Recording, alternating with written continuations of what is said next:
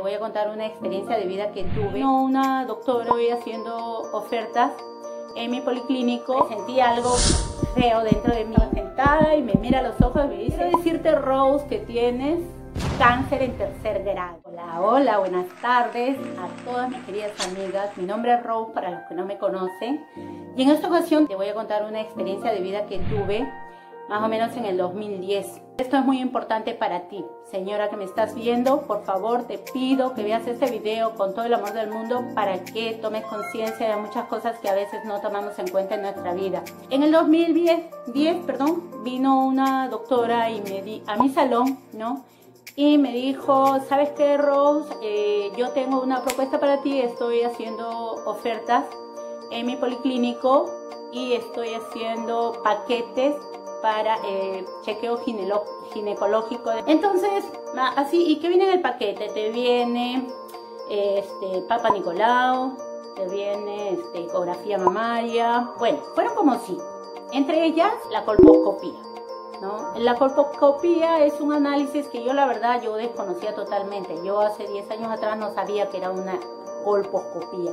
Y yo sé que muchas de ustedes también no están enteradas porque yo pregunto a muchas clientas mías si es que saben de una colposcopia y me dicen que es eso.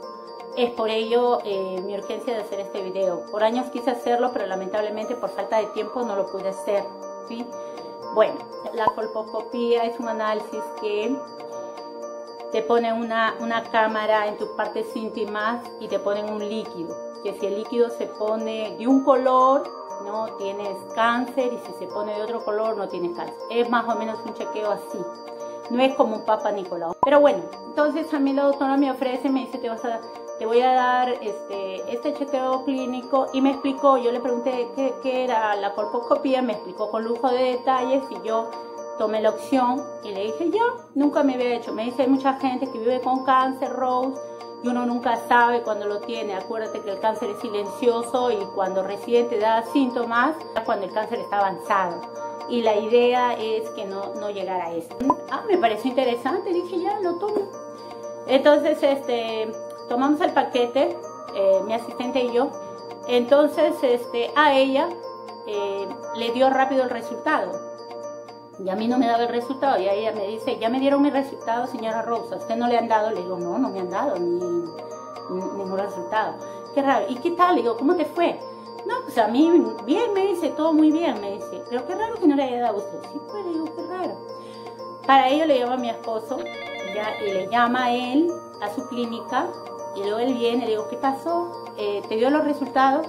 Ah, no, no, no, me dice, pero este, dice que todavía lo están analizando pero este, su cara no me convenció. Entonces yo presentí algo feo dentro de mí. Ya sabes que las mujeres somos que percibimos todo, ¿no? Percibí algo y dije, ¿qué pasó? Le digo, no, no, me dice, lo, que pasa es que lo tuyo se ha demorado un poquito más en, ver tus análisis, ¿no? Y no sé, pero ya me dice, la doctora va a llamar. Bueno, pasó dos días más, más o menos, no recuerdo exactamente.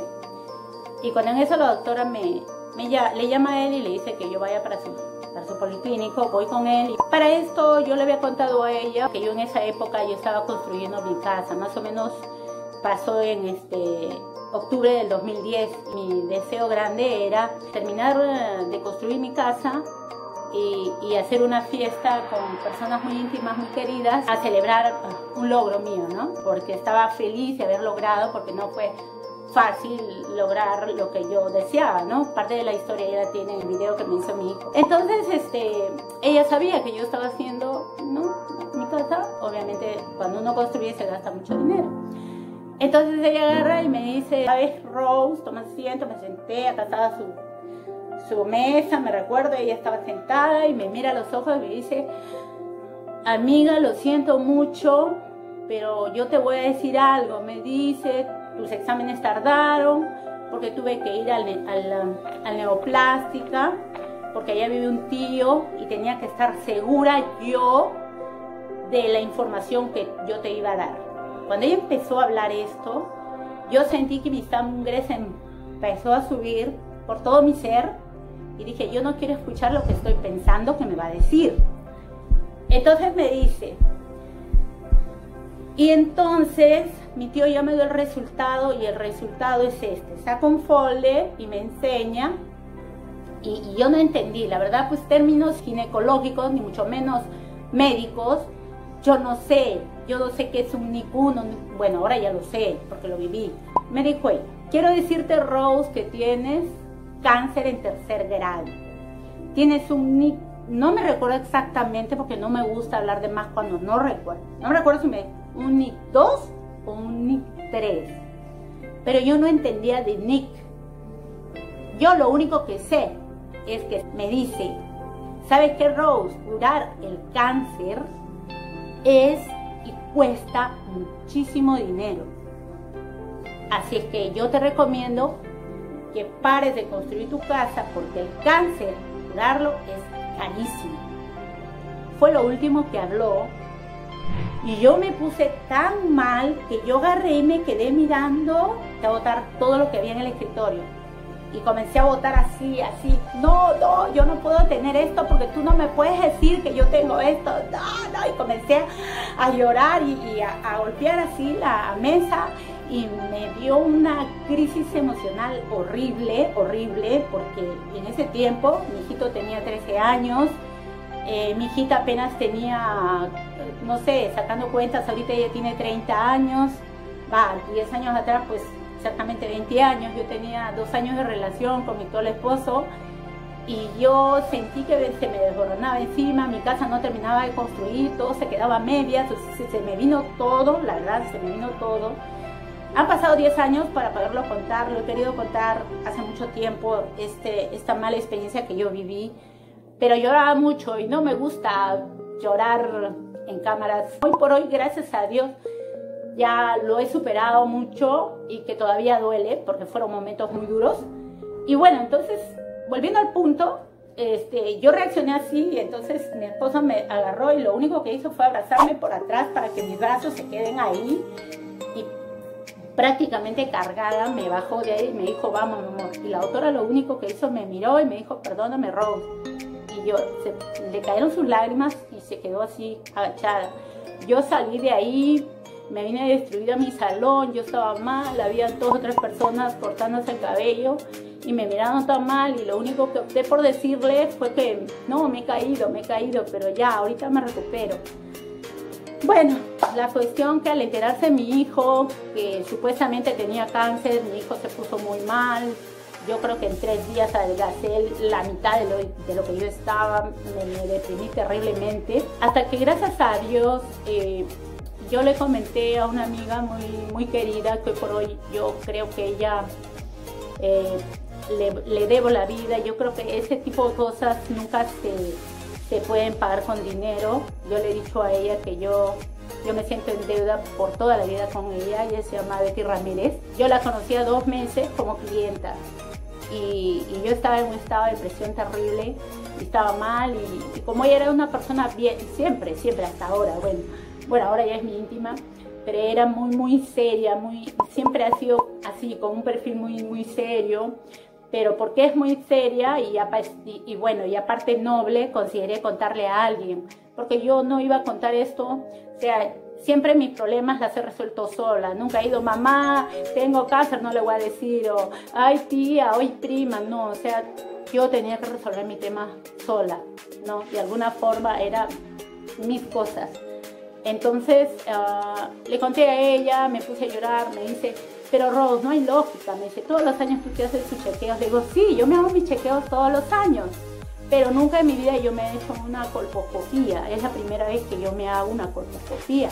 Pero mi chequeo ginecológico me hago todos los años. Ahora yo me hago la pregunta, me dice, la lógica. Yo no soy médico, me dice. Pero por lógica, ¿en qué momento te ha dado el cáncer 1 o el 2? Si tienes un cáncer en tercera etapa, ¿cómo va a ser posible? O ponle segunda etapa, pero ¿en qué momento te dio la primera? Si el año pasado te has hecho tus chequeos clínicos. Entonces como que me quedé pensando, digo, ¿verdad? ¿No? Tienes razón. Entonces ella me dice, ¿sabes qué, amiga? Te voy a recomendar. Me mandó una doctora, pero no me convenció la doctora. Ella me palpó, me revisó, me examinó y me dijo, mira, yo no te veo un útero con cáncer pero como no se comunicaba mucho la doctora, no llenó mis expectativas y le conté a ella. Y ella me dice, ¿sabes qué? anda, ve y chequéate en el Instituto Médico de la Mujer. Este Instituto Médico de la Mujer, ahí está el doctor Johnny Miranda y él te va a atender. Y vas a ver que él te va a remediar esto. Ya había pasado para esto una semana, que para mí fue terriblemente mal. Fui con él, llevé los exámenes que me dio la doctora y, yo un mar de llanto. El doctor agarra, revisa y me dijo, ¿sabes qué, Rose? Tú no tienes cáncer. ¿Cómo? Tú no tienes cáncer, no, doctor. Me está mintiendo. Esto no es ni el principio del cáncer. Así me dijo. Tú tienes un virus, pero del cual ese virus hay que ver, porque hay virus cancerígenos y virus que no son cancerígenos. Lo único que hay que chequear es que hacer que eh, la colposcopía y hacerte un chequeo si es cancerígeno o no. Doctor, ¿y me lo puede hacer? Claro que sí. Y me lo hicieron y todo. ¿Ves? No tienes cáncer, me Rose, Tienes el virus, pero no tienes el cáncer. Ahora el virus es curable, se hace una operación ambulatoria. Tienes dos opciones. Que te puede hacer un láser, pero tienes un 70% de que puede renacer el virus. Pero si te opero, tienes el 99% de probabilidad que quedes bien. ¿Cuánto me cuesta la operación? Tanto. Yo me quería ahorcar porque había gastado mucho dinero ya en construir mi casa y la verdad estaba bien apretada en ese momento yo tenía poco de estar en Perú y no tenía créditos y dije, Dios, ¿qué hago? Y esta chiquita, Betty Ramírez, amiga, toda la vida voy a vivir agradecida por ti, de verdad. Ella agarró y cuando, cuando vine le conté y le dije, amiga, esto está pasando. ¿Y saben qué me dijo ella? ¿Cuánto te cuesta la operación? Tanto. Ya yo te voy a prestar el dinero. Hoy día te lo traigo a la noche y mañana, mañana mismo, porque ese día era muy tarde, mañana mismo hablas con el doctor y que te operen cuanto antes. Yo te voy a prestar el dinero. Y yo me quedé fría. Yo me quedé fría porque yo dije, Dios, esto me está pasando a mí. ¿Cómo una persona que me tiene de conocerme dos meses me pueda prestar tanto dinero? Y no sé, no sé, o sea, a veces digo, Dios es grande, es tan grande que siempre te ilumina. Por eso digo, siempre de todas las cosas malas que me han pasado, siempre hay algo positivo. Y a mí me da mucho sentimiento, y eso sí, hasta ahora me da sentimiento con ella. Y cada vez que la veo, la abrazo, le digo que la quiero mucho y, y yo estoy en deuda para toda la vida con ella. Me operaron y a Dios gracias, hoy por hoy eh, estoy bien. El doctor después de que me operó me dijo, ¿sabes qué, Rose? Yo en delante y acá a los tres meses vas a venir para hacerte un control y ahí a los seis meses y al año.